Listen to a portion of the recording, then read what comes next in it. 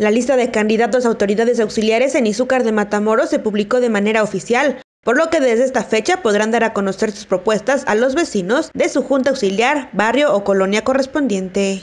Se hizo pública ya oficialmente la lista de quiénes son los candidatos en las diferentes juntas auxiliares, barrios, colonias y comunidades en general del municipio de Izúcar de Matamoros.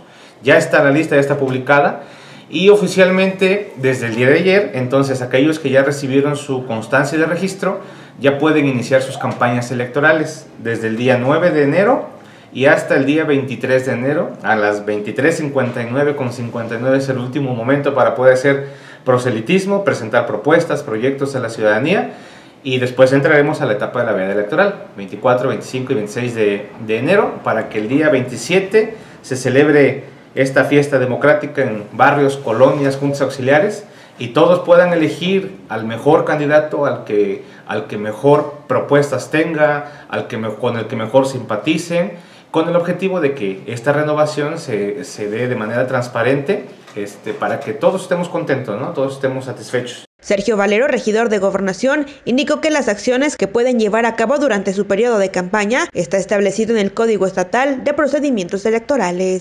Claro, eh, como cualquier este otro proceso electoral, eh, esas, en las constancias que, que, se les están otorgando, donde se les notifica que ya son candidatos este, registrados, eh, indica específicamente la sección del Código Estatal de Procedimientos Electorales, en donde se, define cuáles son aquellas acciones que sí pueden realizar. La repito de manera rápida, pueden hacer mítines, pueden hacer reuniones, pueden pegar propaganda, pueden presentar propuestas en redes sociales, en radio, etcétera. Como cualquier eh, elección constitucional, ellos lo pueden hacer. Y también ahí es muy claro qué es lo que no pueden hacer, ¿no? No pueden hacer uso de recursos públicos, no pueden hacer uso de, instalaciones que, vulneren alguna situación pública, sobre todo. Sí pueden hacer uso, por ejemplo, de, de canchas, de auditorios, de espacios públicos, siempre y cuando nos los notifiquen para que nosotros podamos facilitarles esa, esa situación. Este, vaya, todo aquello que no sea un delito electoral. Cabe mencionar que la elección se realizará el próximo 27 de enero y para emitir el voto deberán presentar su INE. La elección es el día 27. ¿Cómo 27. se vota?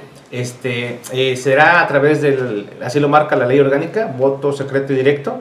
Eh, estamos preparando todo un equipo de trabajo para que se, se traslade a, a, los lugares y puedan este, emitir su voto a través de una urna, este, como cualquier otro proceso.